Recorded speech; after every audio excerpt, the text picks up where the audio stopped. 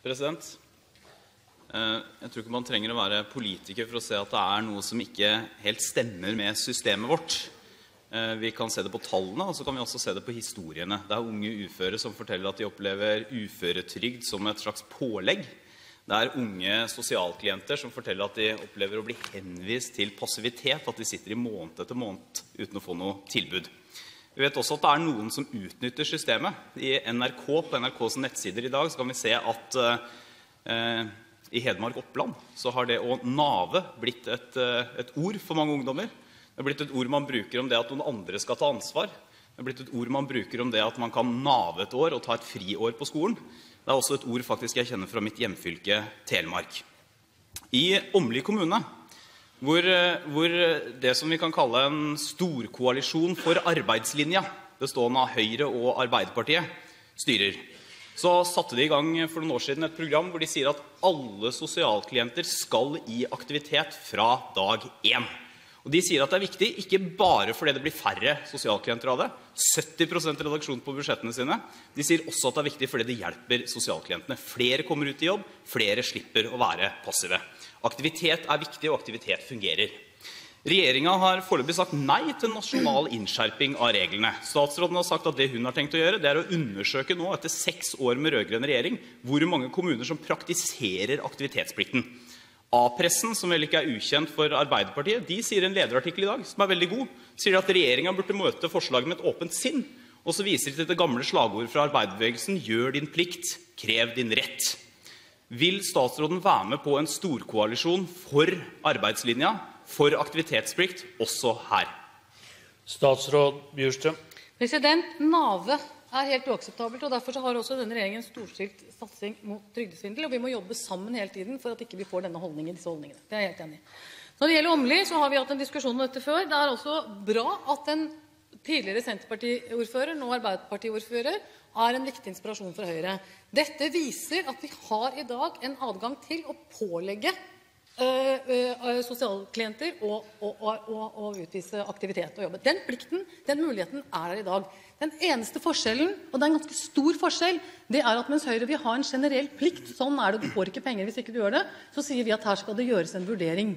Fordi veldig, veldig mange av de sosialklientene skal ikke svinge øksa. De skal på helserelaterte ytelser, de skal på avrusing. Jeg er veldig skeptisk til å ha eks-narkomane eller pågående narkomane svingende med øksa i skogen for å sette det litt på spissen. Det er noe annet de skal ha i mange tilfeller. Men der hvor aktivitet er riktig og viktig, så skal vi være mye flinkere kanskje til å gjøre det. Så ser jeg at det lages litt halløys av at jeg nå etter seks år jeg har ikke sittet med det i seks år, men i hvert fall litt over to år, undersøker dette. Dette ligger hos kommunene. Vi vet at kommunene gjør dette i ganske stor grad.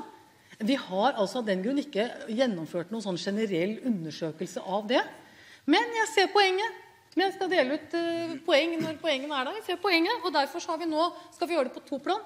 Først skal vi ha en uh, rask gjennomføring knytta fra fylkesmennene for å vite liksom hvor, hvor, hva slags type aktivitet brukes. For det er også veldig viktig. Jeg er veldig opptatt av at det skal være meningsfulle ting vi tilbyr disse menneskene. For de skal jo komme i arbeid. Det skal jo ikke bare være en straff.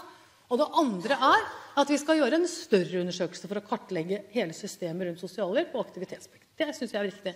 Så må også jeg spørre Torbjørn Risaksen hva skal være sanksjonene? Dette, er jo, dette er jo stønad til livsopphold. Det er det aller laveste du skal ha. Og det er ikke alltid så lett å ta fra de menneskene dette heller, hvis vi skal være et sivilisert samfunn. Så det er liksom ikke så enkelt som det prøves å være.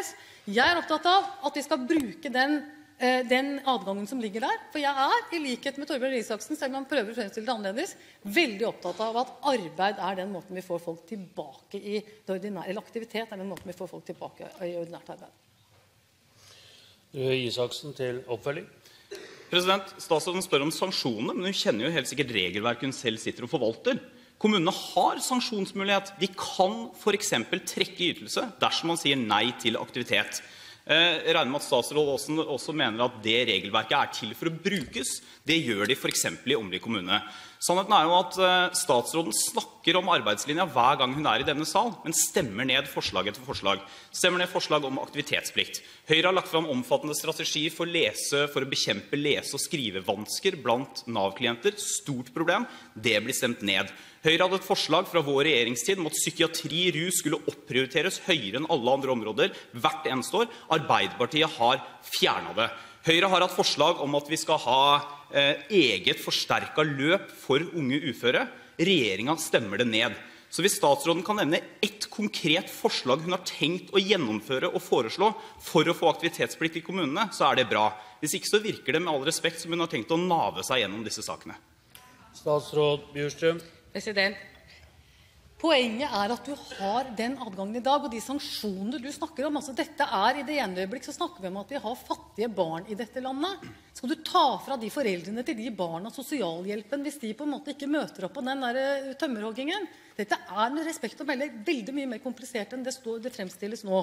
Men vi skal bruke den aktivitetsplikten der det er nødvendig og riktig, og det gjør vi. Og det skal vi sørge for at man gjør fremover. Og der er vi ikke uenige.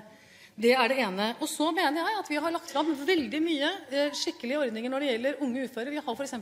vedtatt en uførereform i dette landet som vil bidra til at folk kan bidra med det arbeidslivet som de kan.